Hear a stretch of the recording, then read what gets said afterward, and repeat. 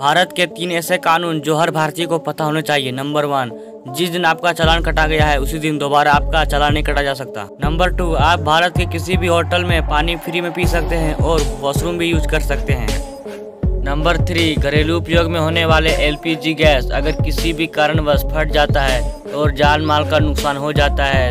तो उस गैस की कंपनी उस परिवार को 40 लाख रुपए मुहैया कराएगी